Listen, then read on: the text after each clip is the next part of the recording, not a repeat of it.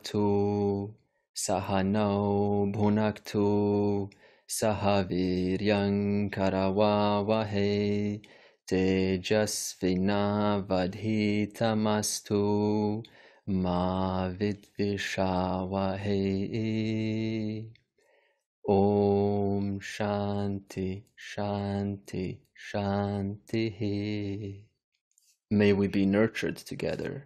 May we be nourished together. May we strive together. May our learning shine. May we not quarrel. Here's the questions that I haven't answered yet, starting with Mina. Microcosm macrocosm relationship with the causal body. The jiva goes there during the sleep. How does this work? And then she also asked about Hiranyagarbha. What is it? Pavan asked uh, if you can explain the origin of the material, then it solves the problem. We already talked about the material and the intelligent cause being from uh, one and the same Prakriti. And then he said, Is there a gap between Brahman and desire to create? Atabahusyam. Remember when we used this chart and I this 24 model of creation, the important which I'm going to hopefully use today. And then I said um, Mahat, and I said, Let me become many. Atabahusyam. So what um, Pavan is asking is, is there a space or a gap between Brahman and desire to create? No, because what does the gap imply? Time. So this means in that case, then Brahman was in time. And then suddenly Brahman thought, or in Brahman, there was this time concept and says, let's create. So this means the moment you introduce this beginning, you're immediately bringing the problem of time. And also, I'm going to um, cover this Ataba Husyam because you're probably going to ask, how did the limitless one have a desire to create? If one is limitless and nothing is missing, then where's the question of let me become many? Where does this desire come from? Why would he create many? Why would he have a desire? So I'm going to talk about that. Uh, Robert uh, asked the question Ishwara is an uncaused cause. There's a strict difference between Ishwara and Brahman. So it's not that Ishwara is an uncaused cause, Brahman is an uncaused cause. Ishwara is still caused, it's still mithya in respect to Brahman. Now, what happens is sometimes we mix up the words Ishwara and we actually mean Brahman. But you cannot say that Ishwara is an uncaused cause because it still depends on awareness. That means there's no knowledge unless there's a conscious being giving, illumining that knowledge.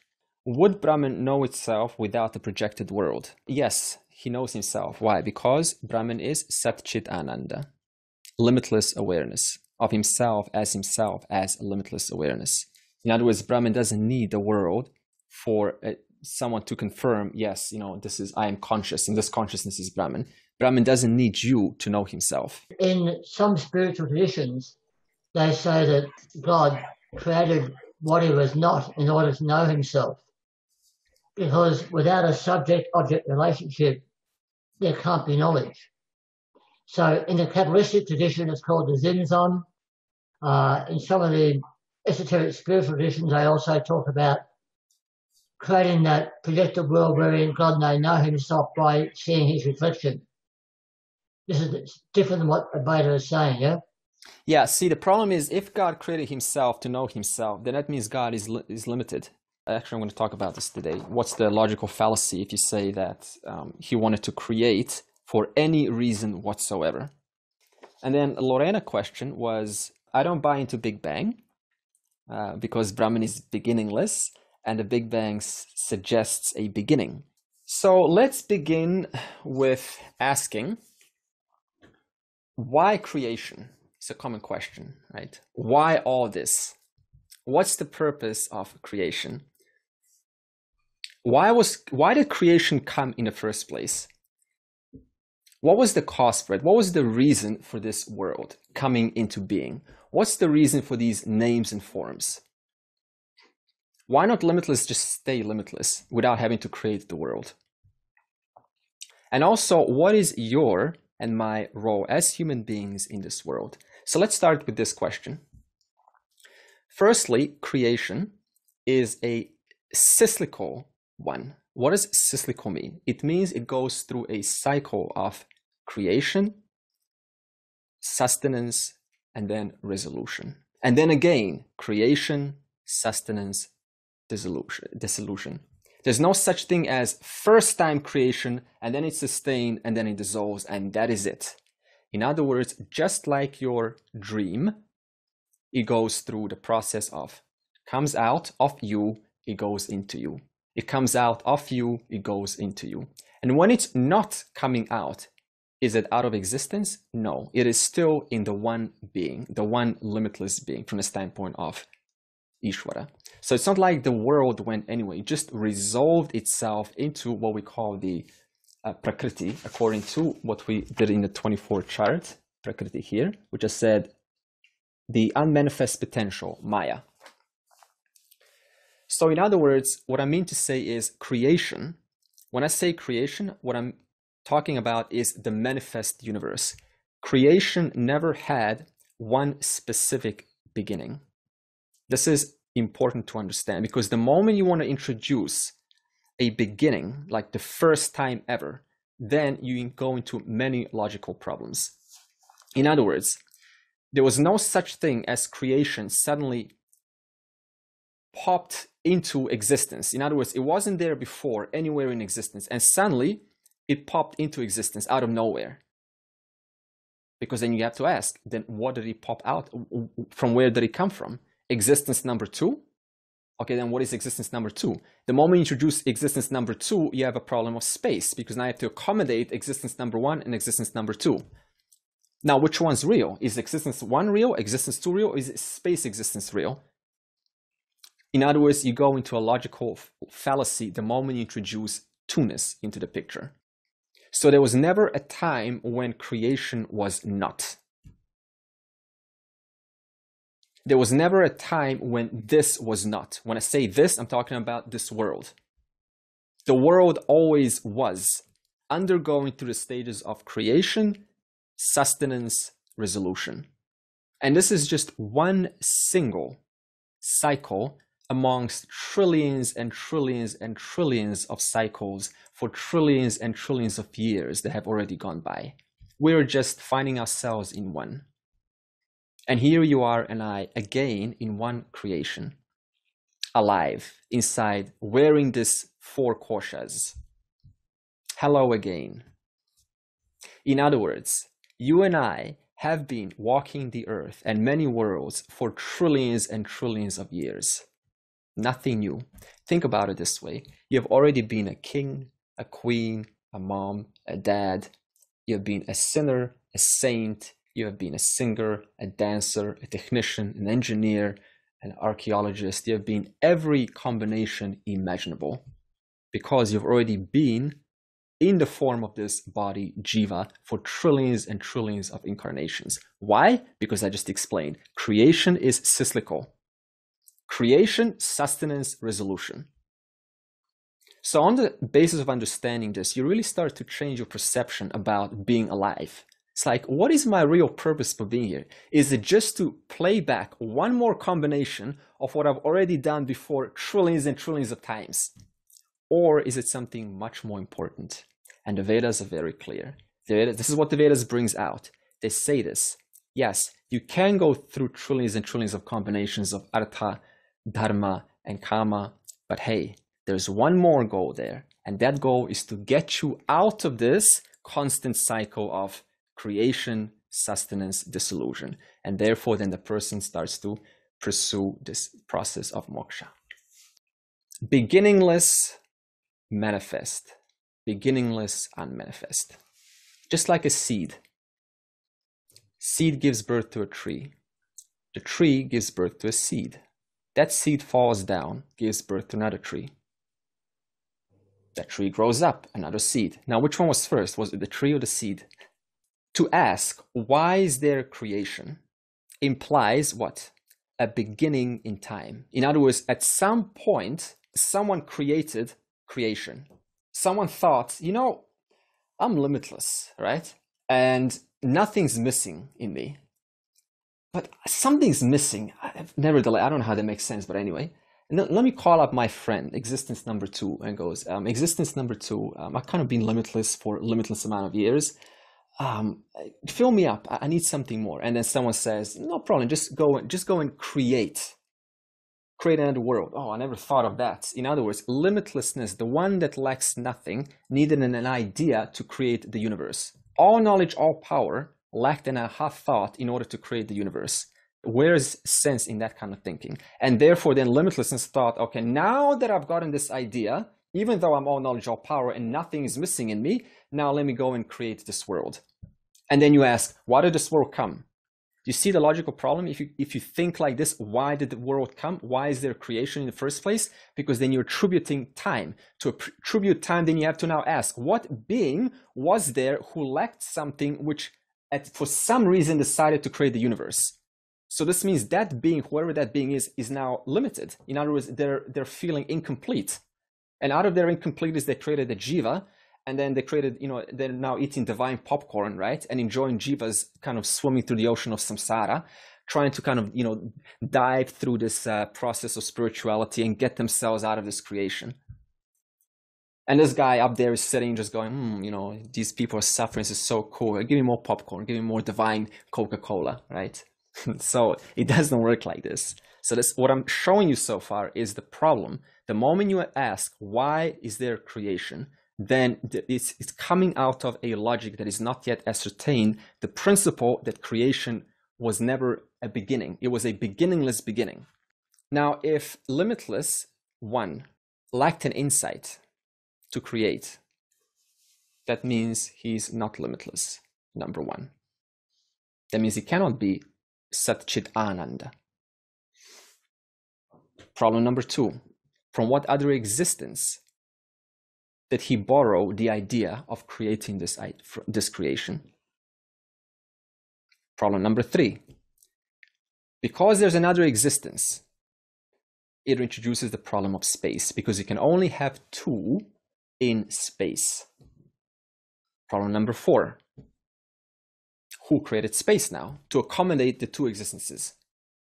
Problem number five which one's most superior now out of the three? existence one, existence two, or space. Problem number, whatever number it is. Which one should I devote to? Should I devote to space as the final reality? Should I devote to existence one, that is Ishwara? Or should I devote to some other Ishwara that you and I have no access to? In other words, you can keep on going with the amount of logical problems when we introduce the, the principle of a creation that has a beginning. However, we can ask what is the purpose of the present cycle of creation? See the difference? It's the same question. I didn't change the question. I only said, what is the purpose of creation in respect to the present cycle? Now we can have a proper discussion. So this means I've first clarified that one question can mean two things. I've eliminated possibility number one. I'm bringing possibility number two, where there is a probable answer. So let's first ask, what is the unmanifest state of the universe? What is this unmanifest state? This state that we call macrocosmic dissolution. What is this state whereby there's no universe at all? There's nothing, there's no elements, nothing. In other words, what is this state all the way before the Big Bang, right? Once it's still in the process of panchikarana, uh, you know the five gross elements and then right before the five gross elements what is that unmanifest state that is a state whereby the jiva that means every living being and also the object is in a potential unmanifest state in other words a causal state what is a causal state that means it is a state that causes the universe we said prakriti avyakta cause of everything or Maya, the unmanifest potential, or Karana Sharira, the causal body. So, what is the unmanifest state? It is whereby every jiva and every object is resolved in this prakriti, in the causal, unmanifest, potential state. For example, when you sleep, you are in unmanifest state. You're in a causal state. It doesn't mean you're out of existence but just in a potential. And upon waking, what happens?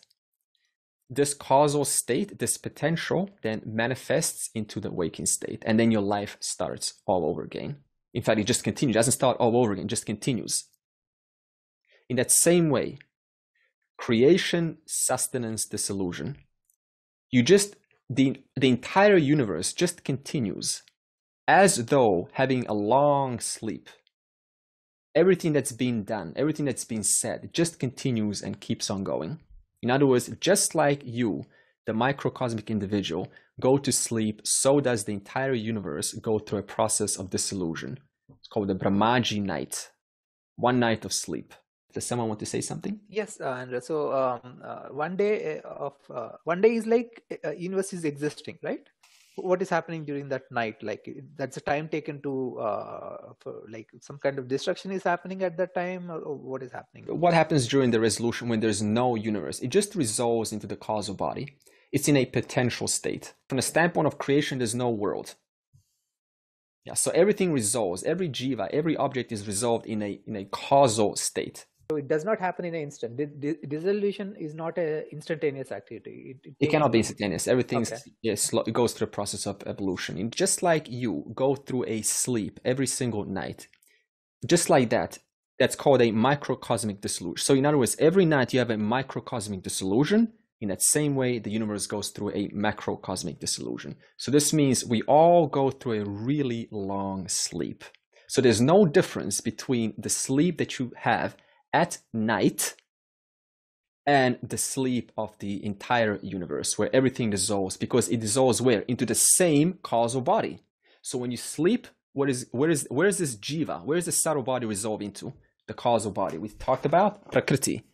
During the entire macrocosmic dissolution where is the whole universe going to? Into the same prakriti. So what's the experience during the prakriti? The same experience as that you have during every single night and what is that experience? The identity whereby you and I are identified during the causal body. What is that? I know nothing. I'm totally, absolutely ignorant. That's everyone's experience during sleep, is it not? So, what does this prove? It proves that every single individual goes to the same place during sleep. A king is no more or less than a farmer or an ant. You are an ant during sleep, and an ant is you. In other words, there's no difference because both are in potential state. There's no identity. There's only when the person comes out, then what happens? All of all of the assignments for this specific person come, and therefore we go identify with those assignments, and we say, "Ah, I am a king," and then our personality flourishes into the world. But in deep sleep, the ant's personality, okay, let's not use an ant, let's call it a little dog, you know, a happy dog.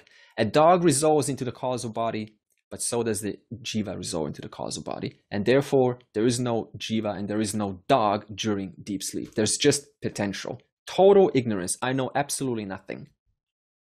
Now, why is it total ignorance? Because there's nothing to know. You are in potential. It's not like you're stupid during deep sleep. It just means you are in a state of hibernation.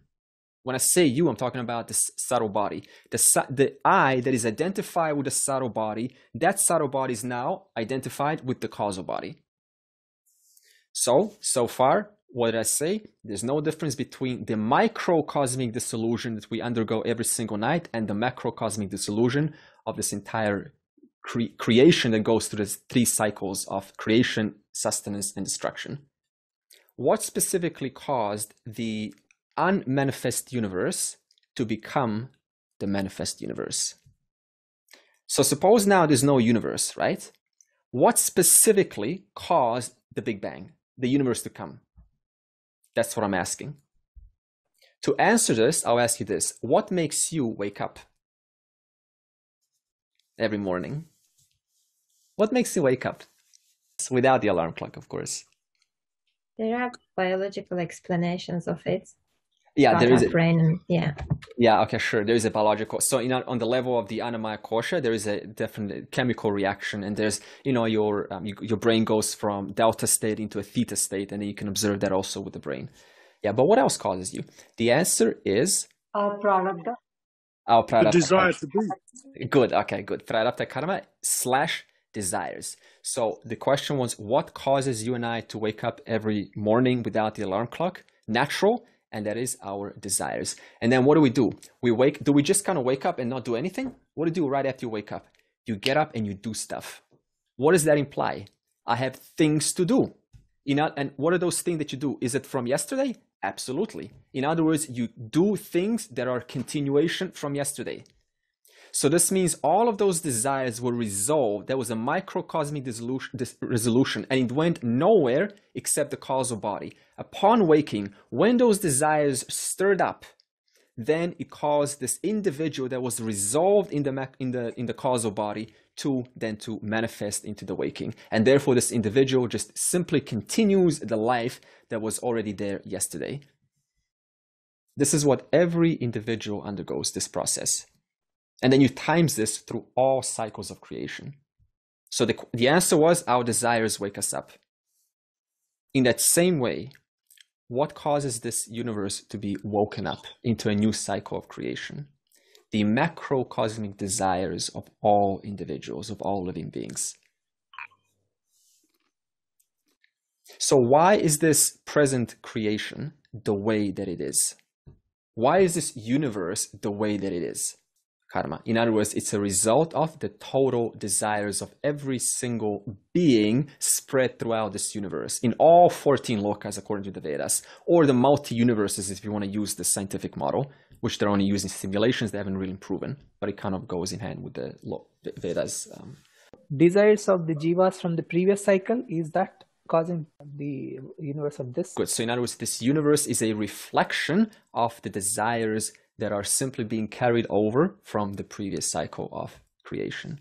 So you want to ask, what was the previous creation like? Exactly like this one. Obviously, there was some differences because you know our desires changed, the universe changed throughout the jivas, desires changed throughout the beings, the prarabdha karma is changing, and therefore the universe is changing right along with the jivas. Why is this creation the way that it is? It's a result of the total amount of desires that are manifesting for all jivas. So it's almost as if all jivas were sleeping in the unmanifest mode.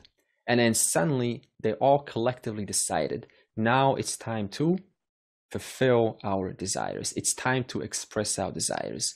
Maybe um, Mina was like, you know, I want to kind of have some ice cream. It's time to wake up, boys and girls. And then the rest of us were like, no, no, we want to sleep a little bit more. It's so cozy in here. And then we waited a few more couple of trillions of years. And then finally, we all agreed to uh, have another chance at expressing our desires. And for that, you need what? For that, you need creation. For that, you need a world. In other words, what is this creation? It is a response of the total amount of desires that the jiva needs. Therefore, for that reason alone, creation comes. Why? Because it needs to provide you an appropriate field, an appropriate world, so that you and I can express our desires. You can't just have a desire and just keep it inside. Is it not true that when you wake up, as I said the question earlier, what do you do? You move, you talk, you go to places. All of that in the name of fulfilling my desires, my prarabdha karma. So, this entire world that we observe is nothing but a reflection of jivas walking around for the sake of fulfilling our desires. So, the next world will not be the follow up from this world, is it? The next creation. Yeah, it always depends because we, we don't know what um, and which which planet specifically Earth. You know, there's many other planets also with other beings and other uh, jivas all over the universe. So it always depends on what the jivas decide collectively. It's like global warming. You know, once in that Inconvenient Truth by uh, Al Gore, as someone, one of the students asked him, um, "Sir, now having showed us the impacts of climate change, what is the projection of our climate in the next 50 years?" And Al Gore created a very um, wonderful answer. It's common sense. He said it all depends on what we collectively do as a result of having seen the information which I presented in my program called The Inconvenient Truth. In that same way, what is the status of this world in the next 100 years? It depends on what we collectively decide to do on the basis of uh, our uh, what's available to us. Robert? The present manifestation begins where the last creation finished. Yeah. Because this is uh, the effect of that karma. Yeah. I had been taught previously the same thing that when the universe comes out of pralaya, it begins again at a higher level. So there's an evolutionary aspect to this. Is that correct? It doesn't make sense to say it's an evolutionary aspect. Suppose you're born and you're highly empathetic, so you're carrying a quality of empathy. And suppose now your friends tell you, you know, you're being too empathetic. People are taking advantage of you. And now what do you do? You decide to firm up your resolve. In other words, just by firming up, you start to reduce the amount of empathy that you had or that you have carried over from your previous life. Therefore, you become almost as if a little bit more selfish now. So this also shows us that you can take qualities, highly evolved qualities of compassion and empathy, and through an experience of someone telling you being too naive, you need to firm up your resolve, people taking advantage of you, you say, hmm, you're right. Now having thought about it, it's probably true. So I'm going to not be so empathetic now. And therefore the person through that can degenerate, or not even degenerate, but release that quality. So evolution is like a stock market, right? In other words, it goes through an up and down cycle. That means we're sort of a bit like that mouse that's running on a wheel. We're not really getting anywhere, you know? Which means there's no meaning to endlessly repetitive cycles of life. There's two ways to answer this. See, suppose you just keep on doing the same thing over and over again. Sure, it's not going to get you anywhere, but isn't it also true that you're going to get bored and then move on to something else? And that very act of moving to something else is enough to be another stepping stone to something that is a little bit more meaningful than what I've been doing before. So there's always two ways to look at it. Um, what is the human role in this creation? What is the animal role in this creation? Well, generally it is to eat, preservation, and procreation. Now, can these three basic instincts be also true for a human being? No. Because if it, they were true for every human being, then everyone would be generally happy. We've got lots of food for the most part today. You just give you a banana, you know, you're happy chappy. Just give you a banana tomorrow, you're happy chappy. Predictable happiness. Just keep on supplying you with bananas, right? Um, everyone's got a general roof over their head, especially today, you know, with the big population. And procreation, that's, you know, it's more than available today. In fact, we've got procreation paying services today also. And yet that still doesn't create any sort of long lasting, real, sustainable, authentic joy or happiness in a person's life. So it cannot be just to eat procreate, and to preserve oneself. What is, through our own experience, the role of a human being? It is to free oneself from this sense of limitation. Nobody can deny this. Nobody likes to feel bound or pressed down or, or restricted. We are all seeking a sense of freedom from limitation. And so then what do we do? Try to release ourselves by of course, having associated um, the eye onto these four koshas, we try to then feed these four koshas to various experiences. Why? Because I think that I am the, one of the four koshas, like the mind or the body. Therefore, if I feed the body, if I, you know, feed the mind with experiences, therefore I will get at least a little bit of a relief of that sense of of that bondage. And then the person then goes to the next shot, and then to the next shot, and then the next shot, and then just keeps on going like that. It means that the only valid role that a human being really has, what Robert was now saying, only valid role, end of the day, is to fulfill that very agenda of releasing oneself from that sense of limitation, because our own behavior proves it. All consumerism is in the name of at least temporarily releasing oneself from a sense of limitation. How do we pursue that?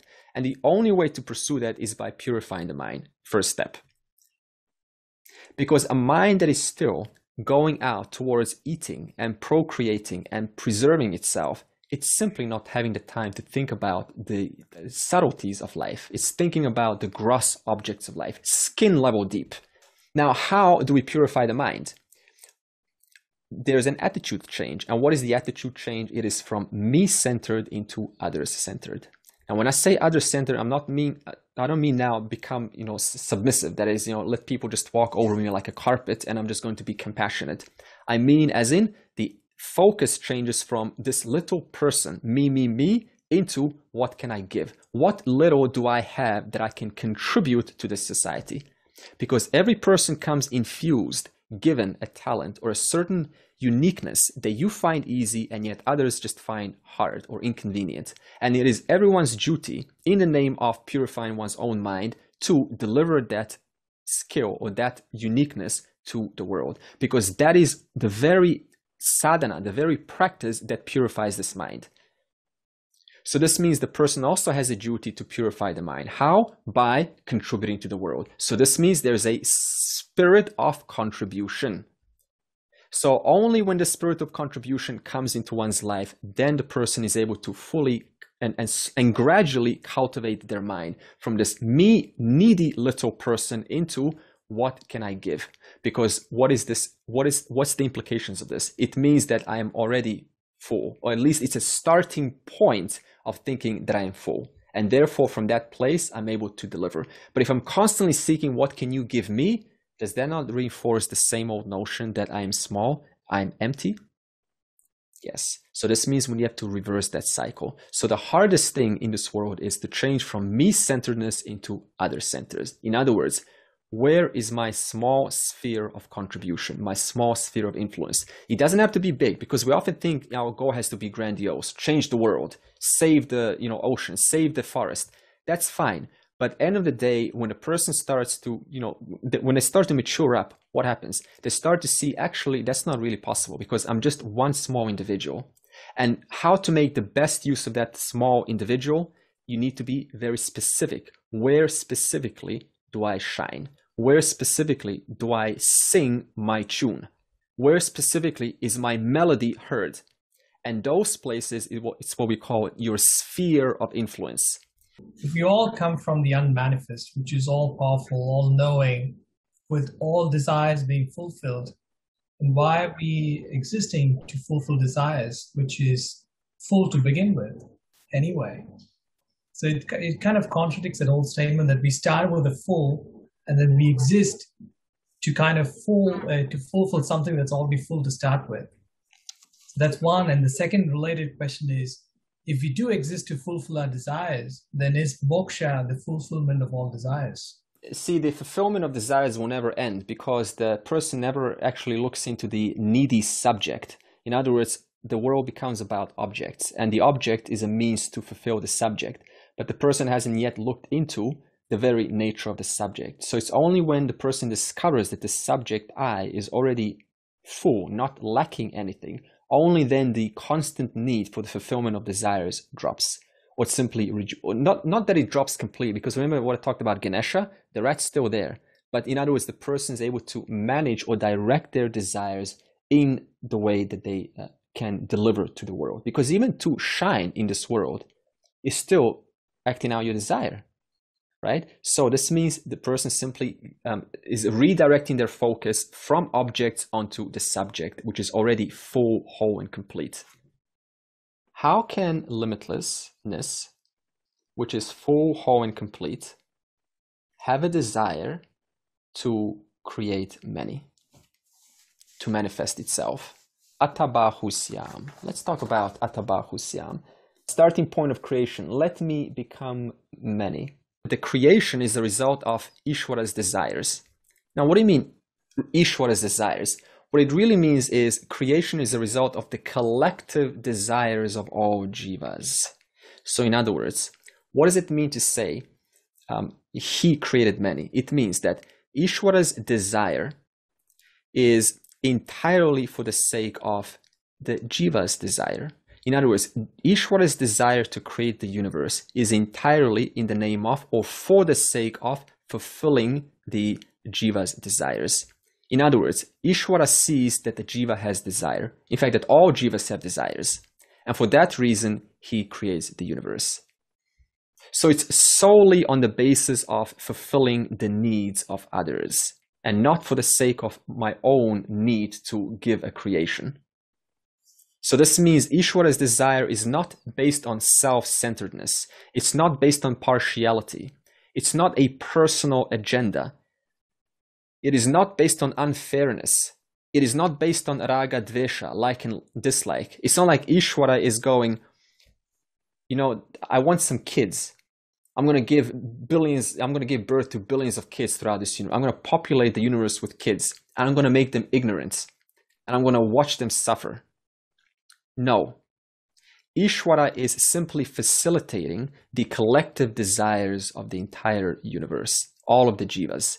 And on the basis of that, gives this creation so that the jiva can play out his or her desires. Now, who are these others that Ishvara creates for? Because I said Ishvara creates for others. Now, who are these others? The others are jivas who think they're others. But from the aspect of Ishvara, there is no such thing as others. In other words, Ishwara cannot avoid the others, has to account for the others who want a desire fulfilled. That's why we say, what is Ishwara? Jagat Karanam, the creator of the world. But it's also a karma phaladata, the one that gives the fruits of actions. In other words, I'm giving the fruits of actions to the jiva, but I'm also giving them the world so that they can express and enjoy their fruits of actions. So let's put this another way. Ishwara sympathizes with the desires of the jivas, all jivas in the universe. Just like a parent sympathizes with the childish demands of the child. I was just thinking that. Yeah, yeah, exactly. You know, I remember I was uh, one of my best friends. Um, they had the two little beautiful boys, and they always like to carry a branch over to the house, like a like find a big log from a tree and just like carry one kilometer walking to the house and the parents saying like you know so many other branches you're holding onto this branch so like so close you don't want to let it go. What about all these other branches? No. To this kid this branch is the entire world. And so the parent then lets this branch be carried over to the house. Even though the parent knows end of the day there's not much in this desire because the kid's to let this branch go and going to forget about this branch as if nothing ever happened. So this means the parent. It's not like the parent created this made this world this little space or environment available out of their own desire. The parent simply created the cot the environment the playground for the kid because it is what the kid wanted. Therefore it's it's not a selfish desire from the parent. It is simply sympathizing with the needy child who is yet to discover that there is not much in carrying a branch from this place A to place B. However it doesn't exclude the fact that by allowing the child to fulfill their desires, as much as you know that it, there's not much essence in it, what happens? You're still letting the child, for him or for herself, discover that for himself or for herself. It's one thing to say it, but another thing to let them discover it for themselves. And therefore, you let them have it their way anyway because that's going to mature them and therefore they're not going to be dragging a branch from place A to place B. So therefore, you're creating this world space for your children so that your children can evolve. But your children still have an option. They can still continue carry on branches for a long time. But you, you, cannot, you cannot deny them the world because you also have to take care of other children so in other words, you create one big world and you let your children and you populate this world with your children so they can carry branches from point A to point B and eventually realize there's not much purpose in doing so. Let me change my perspective. Let me look for something else. And slowly through generations and lifetimes and lifetimes, the person starts to find their way through this massive world of uh, of options, of probabilities, and they come to that specific point of recognizing the highest purpose of being born, and that is to drop the need to carry branches. Exhausting the desires. Exhausting the desires, right? Those those needy I need. Remember, it's important to understand to the child that branch is a world. It doesn't matter if you tell them drop it. You're going to drop it anyway. I guarantee you. Let me show you the proof how others have dropped it before you the child's still going to carry the branch. Even if you provide in the proof, it doesn't matter, right? In the Vedas, there are two sections. There's the Upanishad section and there's the Karma Kanda section. So the question now is, what is the Karma Kanda section for? It is for rituals. So just like that, just like the jiva needs certain desires fulfilled, we give them a Karma Kanda section.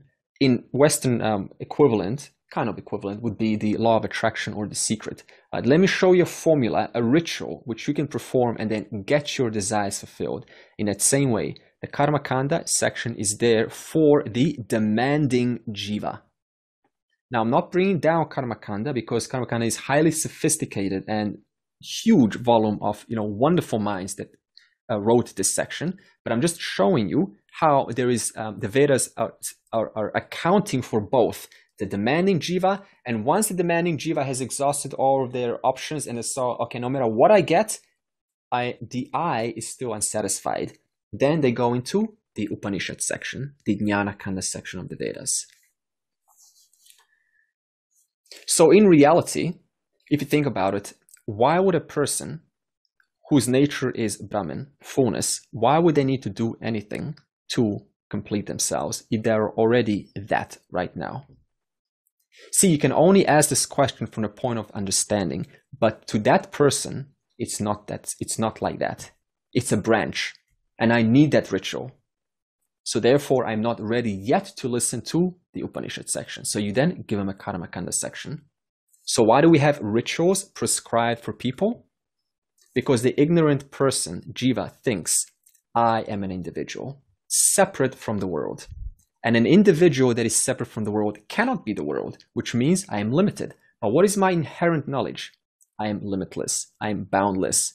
And your behavior proves it. That's why we're all looking for more, implying that I'm not settling for what I have, implying that I already inherently know that my nature is boundless. So the individual then starts to seek, um, uh, wants to complete oneself. How? By fulfilling desires. Because one more desire, maybe I will be free from this sense of limitation. Maybe. Again, rituals, what do they do? Just like carrying the branch from, true story by the way, from place A to place B, rituals also qualify the mind slowly, as um, Martin was saying, um, to uh, recognize the the purpose is not really what I'm seeking. There is much more to what I'm really seeking. Therefore, the person goes from karma kanda into Upanishad. So this is a natural evolution. So what am I showing you here? If you look at the rituals that are going on, there is again no space to degrade them. No space to say, oh, you know, you're doing this japa, you're doing this puja, you know, you're so eh, you so this and that. No, because to that person, it's like the branch. It matters to them a lot. And that is the very process that's going to get them to a much more mature stage. So we all go through the same process. Andre, I'm a little confused um, in the sense that if creation is uh, because of desires of jivas and creation was always there uh, i mean a different cycle every time but always there.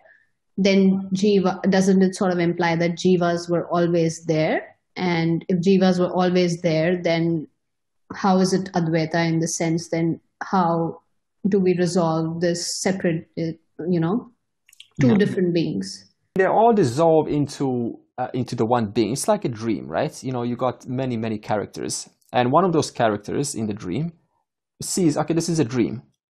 And when they recognize this is a dream, then they just have no need to come back into the dream, right? Because you see the nature of the dream. Suppose now you're in a dream, right?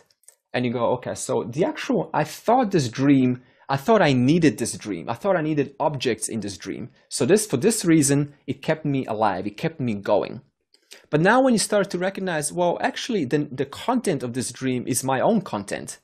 The intelligence of this dream is actually my own intelligence from the standpoint of the whole. So this means the relationship to that dream changes. And from that standpoint, you still continue as a character in the dream because, you know, you're still alive, you're still breathing. But now upon death, because you've reduced this, this need, you've eliminated this need to kind of participate in the world, thinking that the world can give you something, so now, wh- where is the logic of coming back and having another another creation, another dream? Right? Because you, you've you've destroyed the notion that I need this world to fill me up. So this notion, once destroyed, then the body continues absolutely. But upon death, called videha mukti, then there is no coming back. Because what are you to gain?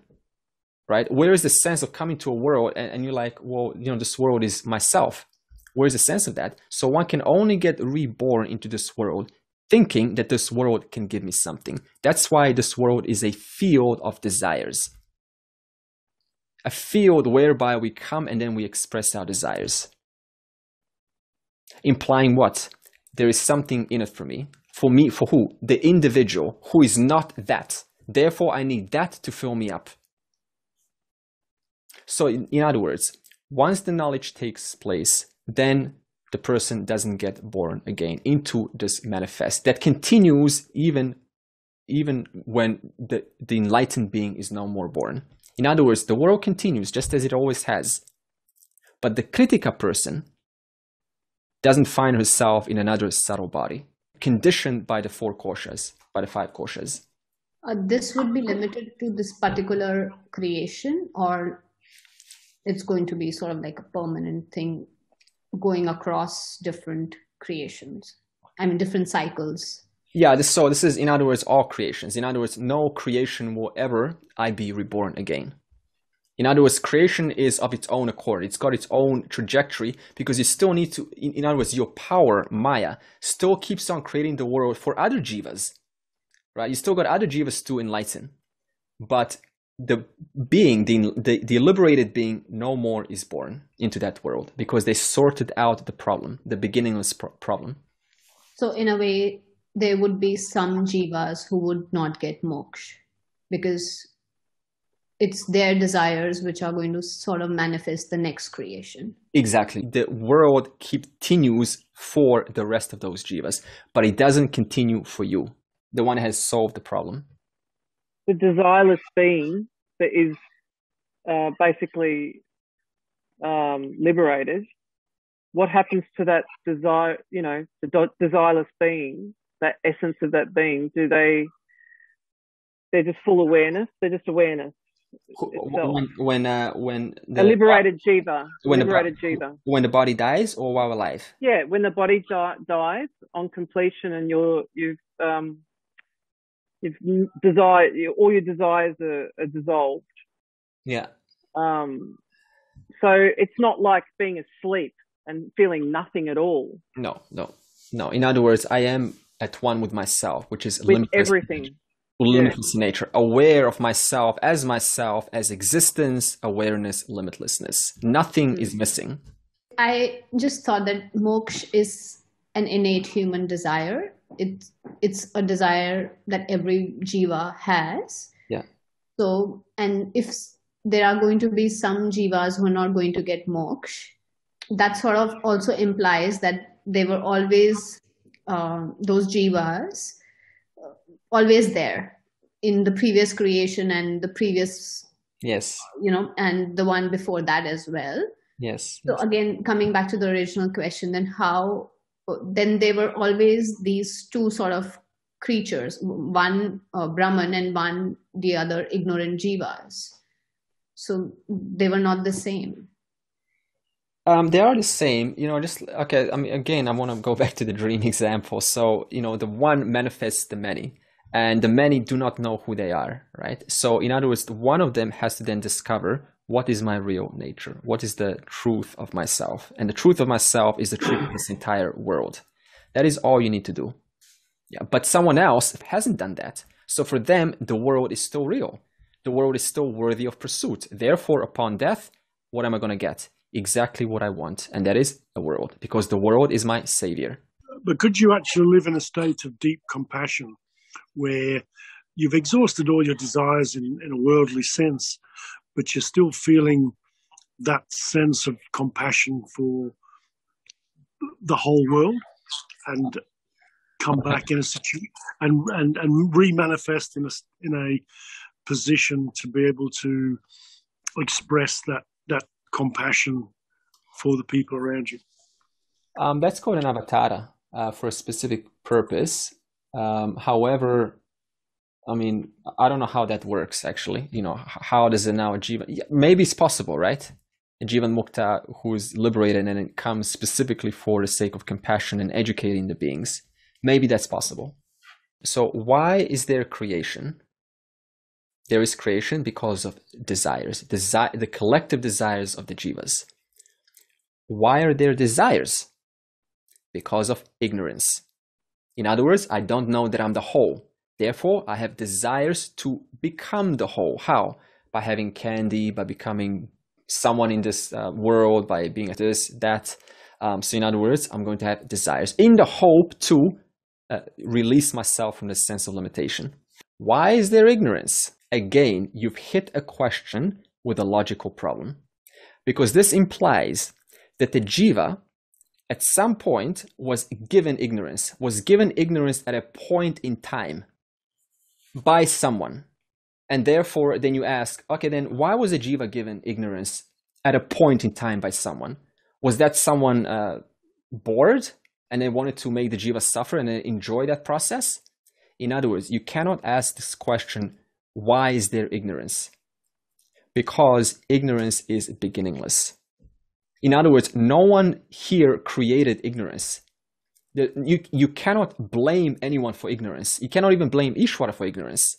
Because I just said it is beginningless. So, in short, ignorance gives birth to the notion of a jiva, individual. Individual, therefore, desires. Desires, therefore, creation. In short, what is the purpose of this cycle of creation? Exhaust the karmas.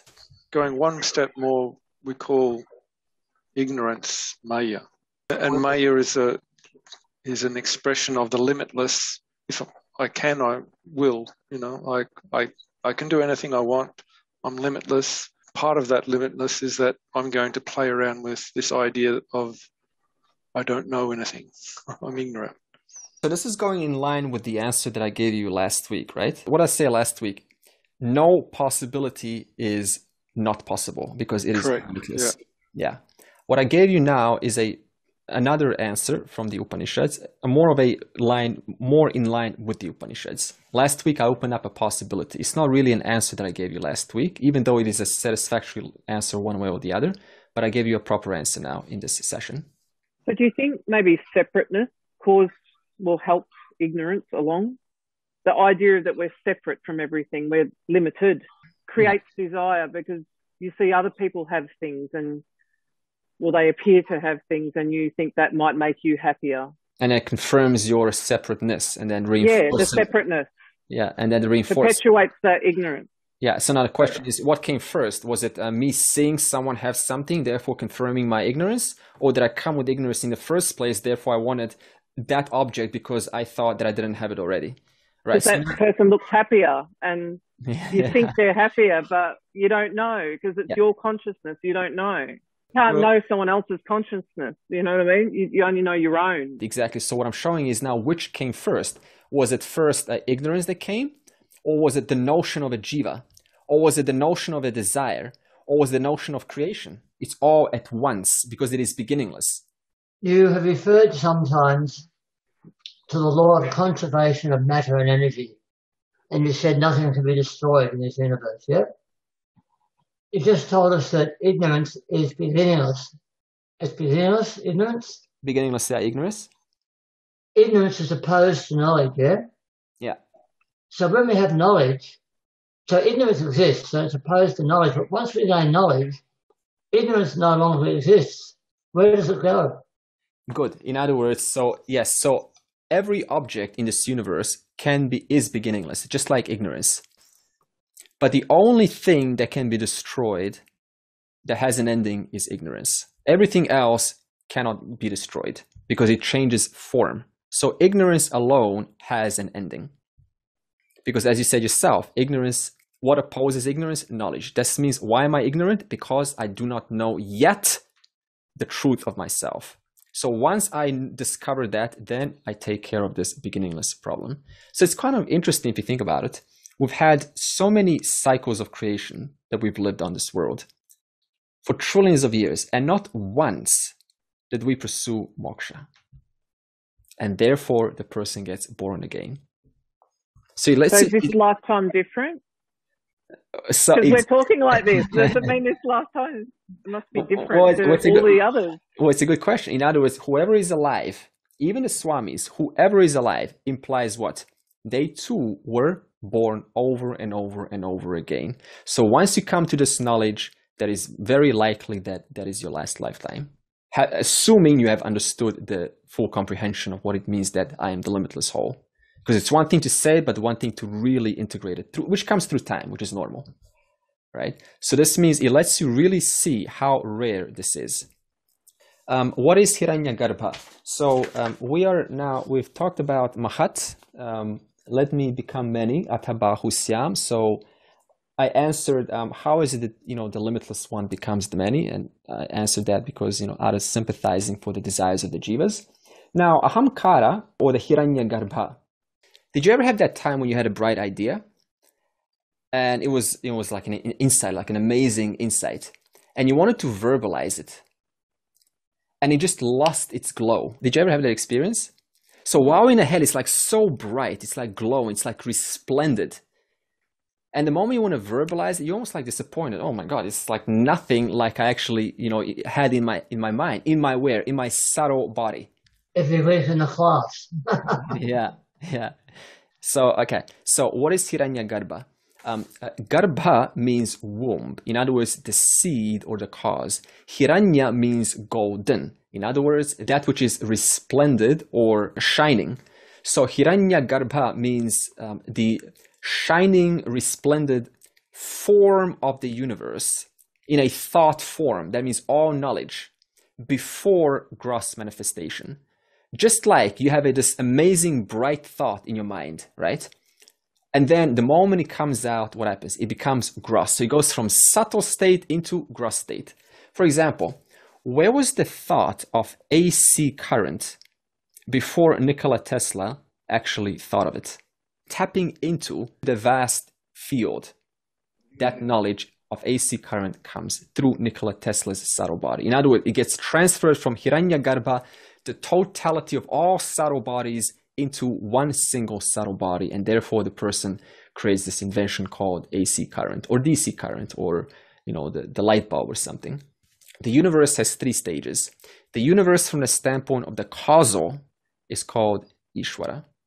The universe from the standpoint of subtle is called Hiranyagarbha, and the universe from the standpoint of the physical, that is the gross, which we are experiencing now, is called Virat. So what is Hiranyagarbha? The sum total of all subtle bodies throughout the universe.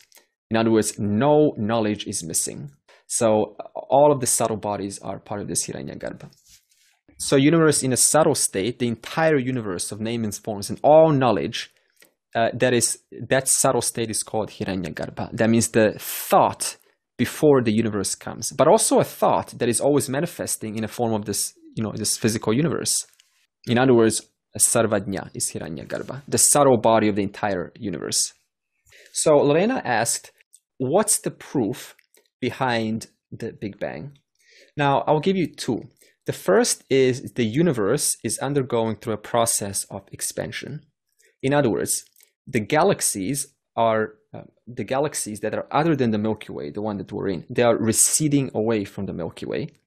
That's number one. Number two, the universe is undergoing a process of cooling. So, number one, it is expanding, but also it is cooling. Now, both of these suggest what? That at some point in time, the universe was smaller, but also hotter. Now, we know that just like an atomic bomb, there's a huge, massive amount of release of energy, very hot, but also very big. Now, through the course of time, what happens? Not only does that heat start to reduce, but also the size of that entire release of energy starts to uh, reduce. So, in that same way, the fact that the universe is expanding, but also cooling, implies by the law of physics that at some point it was much hotter, which implies what? An creation of this massive universe but also it was much smaller. The second uh, proof of the Big Bang is what we call the Olbers paradox. Suggests that the universe didn't always exist. The universe cannot be eternally existent. The universe cannot be eternally huge. How? If you go outside right now, if it's dark, and you look up into the night sky, if the universe was eternally uh, eternally existent, right, or eternally huge, then what would you see? You would see one massive sky of stars. Why? Because all of those lights would have time to travel from different stars, no matter how far they are, and therefore reach your eyes. Do you understand this logic? Because light travels, right? If the universe was eternally existent, then if you look up into the bright sky, into the night sky, then you would see just one enormous sky of stars with equal intensity. But that is not our experience. Our experience is there's just faint. In other words, light is still traveling, implying what? The universe was not eternally existent. It did not, uh, it was not, it began at some point. Now, I want to also show you um, this process of the Big Bang and um, a little bit of a chart. Interesting, some colors. The Big Bang, 13.8 billion years.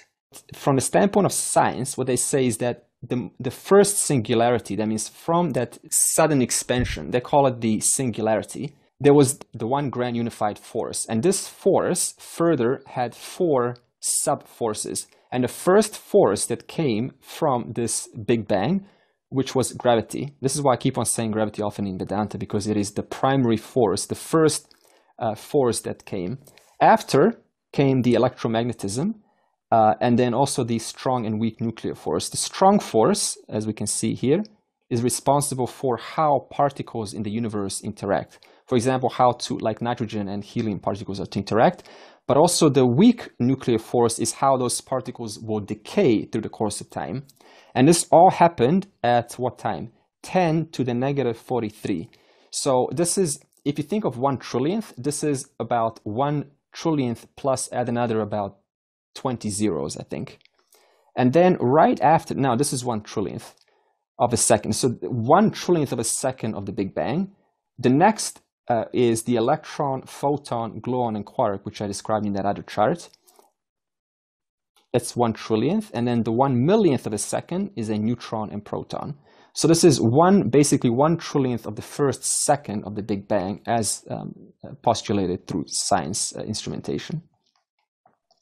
Okay, and then uh, we've got 300,000 years later, we've got hydrogen and helium. In other words, before the first 300,000 years, you, would ju you just had space without any particles in it. Now, if you go to outer space, you say, oh, it's empty. It's not empty. As I said earlier, it's still got hydrogen and, and helium. And then you've got uh, 4.6 billion years, our solar system, and finally, 4.3 billion years, we're getting, and you're over here with a smiley face, listening to this Vedanta.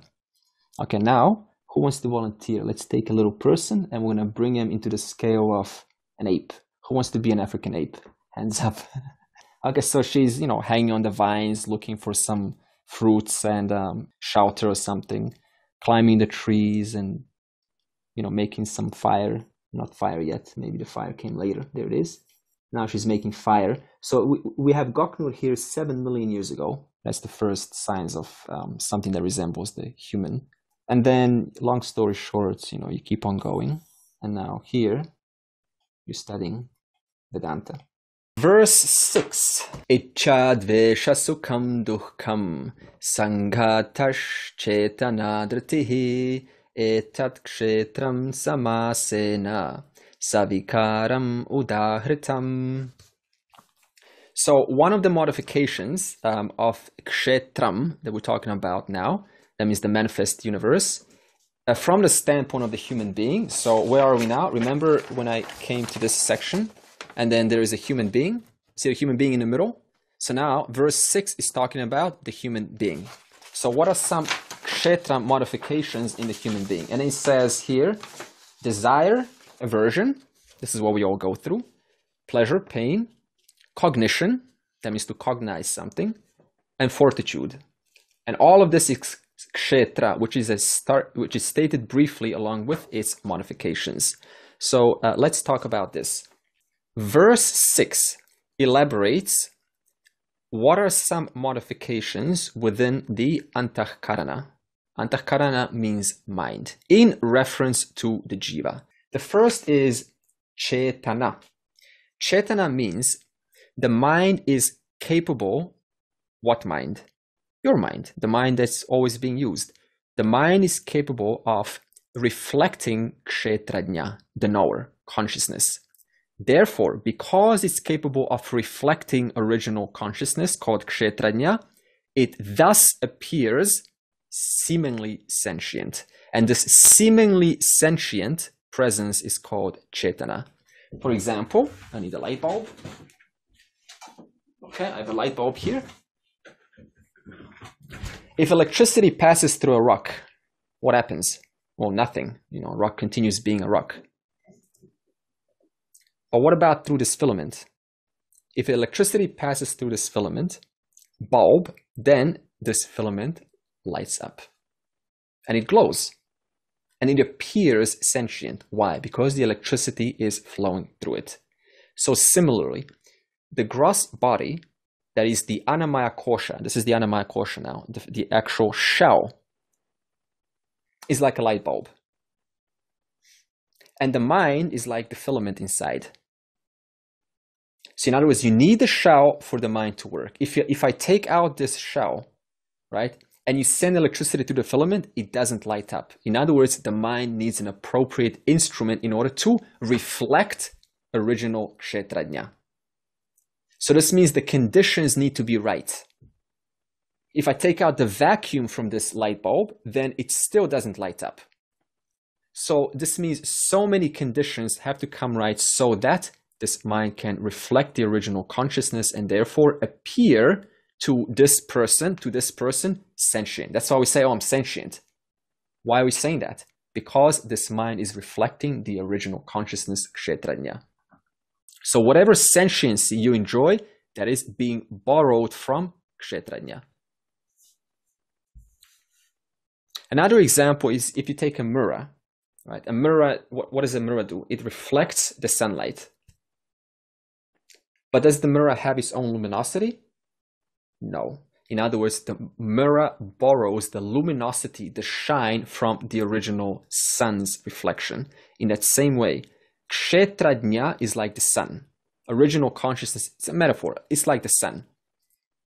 And the mind is like the um, like the mirror because it's capable of reflecting the original sun. Of course, if the mirror is tainted or filtered with some uh, specks, it's going to also reflect that onto whom? Onto yourself as a being. And therefore you're going to say oh you know i've got i've got stuff in my life to work on. Why? Because your mind is resolving is reflecting the conditions of the mind by the help of the kshetrajna so the kshetrajna is like the sun the mind is like the mirror and the borrowed kshetrajna is like the reflected sun. Do you see this analogy? Okay. So Take the sun, just an analogy. Sun is like the original light, always shining. That's called kshetrajna. Shining onto what? The mirror. The mirror is called the subtle body, the mind. And the reflection on the mirror is called reflected kshetrajna. And this reflected kshetrajna in Sanskrit is a very common name is called chidabhasa. It actually just means chit abhasa. Chit means consciousness, abhasa literally means reflection. If you put it together, it's Chidabhasa. Another name is Pratibimba Chaitanya. Both mean reflected consciousness. So what is reflected consciousness? When original consciousness is shining onto a reflecting medium called the mind, therefore reflecting its contents. And therefore the person then says, oh, I am this and this. In other words, I am this person, according to these notions in this mind, which is reflecting the original consciousness. The reflecting medium which is the mind, is kshetram. But the reflected consciousness, chidabhasa, is also kshetram. The original light, the original kshetrajna, is kshetrajna. So the reflection is kshetram, but so is the reflecting medium, the kshetram. So what do we do then? We confuse the original consciousness with the reflection. Therefore, we say, I am tall, I am happy, I am, etc. That's called all reflection. But the fact that there is knowledge about that I am happy, I am so and so, that's because of the original kshetrajna, illumining this mind, illumining the contents and the personality of this mind. Then it says, what are some modifications of this seemingly sentient mind, chetana? And the first one is Icha Dvesha, attractions and repulsions. This is something that we all have and we all understand attraction. To be attracted to something and to be repulsed by something else. What I'm attracted to, I want. What I'm repulsed by, I do everything so that I can avoid it. Because who wants pain in their life? Therefore, I avoid what I think is not worthy of my uh, of my time. In fact, because of this icha dvesha, is why we categorize the world into worthy and unworthy. This is worthy to me and this is unworthy to me. Even if it's in my highest good, if I have a repulsion towards it, it is still not worthy of my time. Therefore, what do we do? We categorize the world according to what is, quote, good and what is bad. Shallowness, black or white. It's like this or it's like that. In other words, what happens? Because of this modification called Ichadvesha, the objective Ishvara world gets seen through the eyes of the subjective Jiva world through subjective eyes of repulsions and attractions, likes and dislikes. So even if you are a divine, a saint, if you remind me of someone in my childhood that was uh, that hurt me, what does what do I do then? That is a repulsion. Therefore, I then put that repulsion over your face, and therefore you be you are now a repulsive being to me. Why? Because of this association from the past. So this is how Icha Dvesha rules the behavior of the Jiva. And then what does the Jiva do? Because of this um, Icha and Dvesha, adjusts the environment, starts to modify the environment so that it suits its attractions and repulsions. In other words, the Jiva sets up the world so that it accommodates its subjective Jiva Srishti world because of Icha Dvesha, attractions and repulsions. And what's the byproduct of this? What's the result of this attach, attachment? Because you've taken so much time and energy and effort to take those things that are unworthy and bring those things that are worthy, that now there's an investment into that. And therefore, I become attached because of my involvement into it. And then what um, what experiences do these likes and dislikes, this ichadvesha, produce for the jiva? The answer is sukham dukham, mixture of satisfaction and disappointment. Two reasons. Because firstly, neither sukham nor dukham intrinsically belong to any object. Any object has no power to give you happiness or suffering. No object does. But it actually does. Why? Because the mind has classified it as worthy or unworthy valuable or unvaluable, favorable or unfavorable. Therefore, what do I do then? Once the object becomes favorable to me, I treat it as though it is a god idol. Literally, it becomes my god idol. How? I spend my time, energy, and effort worshiping it, devoting my time to it. And this act of associating value, this strong attachment, is what we call a binding desire.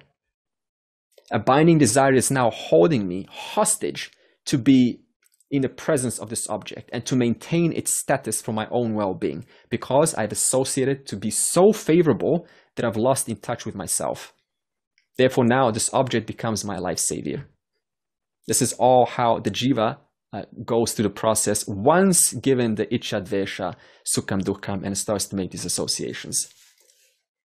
The second reason is because every object inherently changes. Therefore, from one moment to the next, it no longer holds that fascinating power that it once had just a moment ago. And that produces disappointment. In other words, the jiva as a result goes through a series of satisfactions and disappointments like that. So, summary is um, uh, the mind overlays its its uh, likes and dislikes onto the world and therefore, consequently, the world then bestows power to give you happiness and suffering. The world was neutral all along. Who gave it the power to make us happy and dissatisfied? We did. How? By our associations. How do we create associations? By assigning what is worthy and unworthy. Therefore, now the world is nothing but a place of favorable and unfavorable things. I discard you, I, I, I get you into my life. In other words, I start to select, be very selective in life. And that binds me, not even recognizing it. And then finally, drittihi. Drittihi is, it says here fortitude. I would say it is willpower. So now the jiva uses one's willpower to acquire yogakshema, acquire or maintain those uh, pleasant objects in their life. In other words, now they use another power called free will, and now let me sustain the presence of this object which I am bound by through my own efforts. In other words, who's holding down the jiva? The jiva is holding him or herself down. No one else in this world has the power to hold you down except you yourself. Conclusion finally, these are the some vikaras or modifications born in the mind of the jiva. So what have we now spoken about? We've spoken about the uh, one of these beings, the jiva, being endowed with these qualities of um, uh, uh desire, uh, likes and dislikes, attachment, happiness and suffering, and how these modifications affect the life of the jiva. So we've taken a little tour. Okay, and we can close. Any comments? I can maybe put down for the next. So seeing this behavior, seeing this pattern, after a while you can break the pattern because you realize these objects aren't fulfilling you and making you feel happier. You realize that they're changing and disintegrating and decaying. Um, Absolutely. You know, dissolving, and then and then you realize that external objects don't make you happy, and then then you can break that that sort of pattern Indeed, uh, um, Lorena, and that takes some time. It depends on the maturity of the mind. Some minds take much longer. Some minds can really figure it out really quickly. Um, so it really or through suffering, through suffering as well. You can have like suffering, a absolutely huge amount of suffering, and then that can sort of jolt that way of thinking. Yeah, exactly. Um, and you know, if someone asks, um, why is there, you know, in the, in the Vedas we speak about the fourteen lokas, and um, Earth is the only place where there is a mixture of sukham and dukkham. Now, uh, it's actually one of the favorite places because if you don't have suffering, now suppose you're in heaven and just enjoying yourself, svargaloka, you're not going to be thinking about much more than just, you know, like re- dissolving yourself in that vast bliss of, of heavenhood. You're not going to be thinking about, you know, what's the nature, who's the one that's enjoying this, right? You're not going to be asking questions like that. So this means suffering is an incredible, potent um, uh, tool for advancing and speeding up our progress into into self growth. Yeah. So this is why it's a great place. Earth is a great place actually to be alive. Yeah. yeah. However, through our behavior, we turn what? We turn Earth, which is supposed to be a means, into an end. In other words, we convert what? Various things in this world as the ultimate end like um, going to you know just just you know pursuing things in life food becomes the end then you start you know talking about uh, food and it's like oh let's get let's together uh, group sessions of food group sessions of this group sessions of that whereas in fact this world is just a means for the end and that is moksha yeah so this is how we trick ourselves the earth was given the ultimate blessing that a person can receive but we ourselves converted not into an, a means, but into the end. And therefore, we then spend one lifetime enmeshed in different components, and then we go get reborn again.